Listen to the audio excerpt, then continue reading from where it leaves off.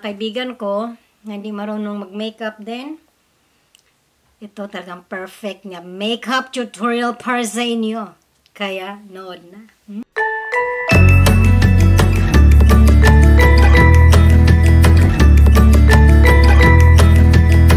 So, welcome to my YouTube channel and thanks for visiting again. So if you could notice my face doesn't have anything, makeup, yung kilay ko, kaka-deforestation lang. Kung kailan pa tayo tatanda, tsaka na po magpapaganda. Hmm. Eh, hindi ako komportable eh. Wala, ano yung kilay ko, manipis. We're gonna start, napag-alaman ko, before we put anything sa mukha natin, gamit daw tayo ng primer. Ito pala siya. Yeah.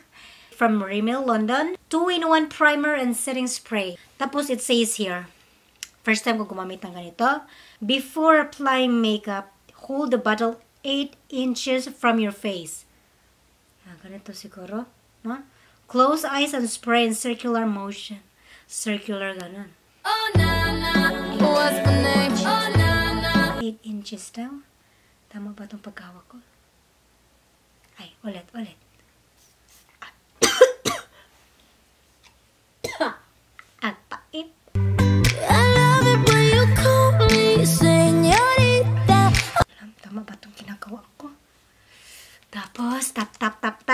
Hanggang mahilas ang mga taba-taba ng, na siyang dahilan kung bakit makakapal ang ating mga mukha. Ah, ako lang pala. Parang ma- malagkit siya. Oh na na, Next is foundation. Ba't ang eh?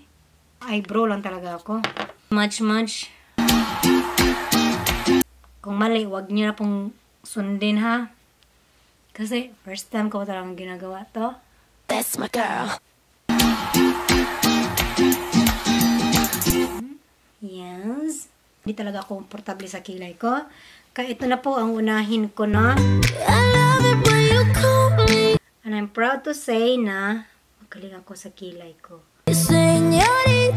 Ay pa talaga itong sipon ko eh. I like my eyebrow. Oh na na, what's my name? Ito lang po talaga napapakompleto ng araw ko, no? Itong eyebrow ko. That's my girl. Anastasia Beverly Hills. Kaya ang gagawin ko ngayon ay yung mata ko. Mata yung gamit ko. Hindi ko na pumabasa kasi na-fade na po yung pangalan.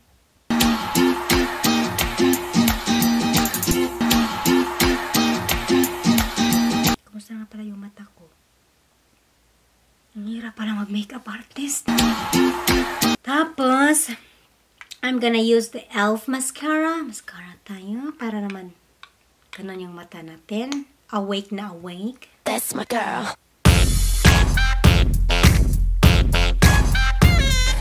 Ito lang talaga ang kaya makakaya ko, no? Kaya comments na lang kayo, no? Kung alam niyo kung mali o tama yung ginagawa ko. Hindi pala. Before tayo mag-blush on, mag-loose powder. Ganito pala dapat.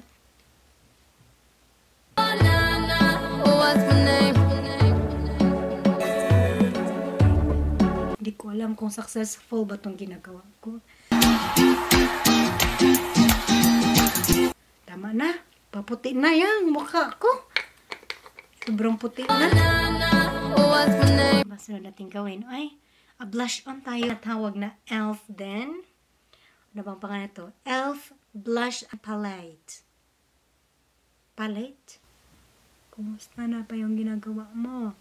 Ano pala ito? Ay, ito pala. Ano, mali man pala yung gamit. Ulit, ulit. Pala yun. So, nakabili ko lang ito kahapon from Maybelline. Maybe it's Maybelline. For, ay, before ako gagamit nito, mag-contour muna tayo sa lips ko, no? That's my girl.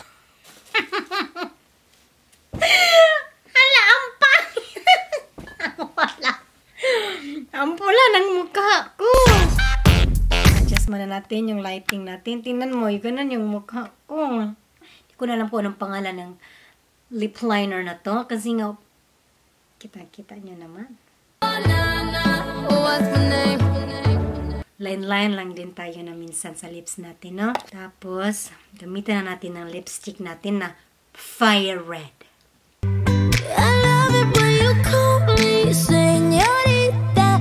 Seriously?